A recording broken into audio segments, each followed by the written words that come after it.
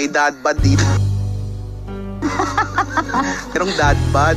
Dad ba? Pakita mo sa kanila yung dad Ayaw bod. nga, no? Oh, nakikita ba? O yan, no? Dad bod. Hanep, may dad bod.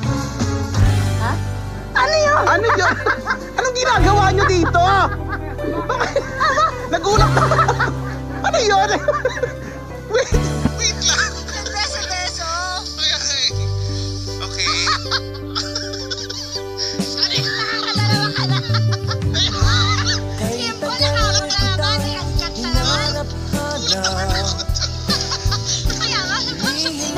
pala may beso.